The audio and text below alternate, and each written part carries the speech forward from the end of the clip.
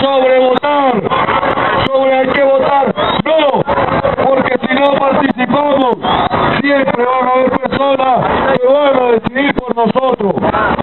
Ustedes, muchachos, ustedes son los responsables de que en este país podamos seguir viviendo en libertad y en democracia.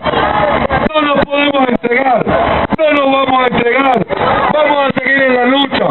Y antes de darle la palabra a mi Rojas, los invito a que vean este performance. Aquí está una dramatización de Simón Bolívar, quien hoy le va a dar un mensaje a ustedes y a nosotros, que somos la generación de la dignidad, la generación del orgullo y la generación del respeto. Que respeten, señores, porque aquí lo que queremos es vivir en democracia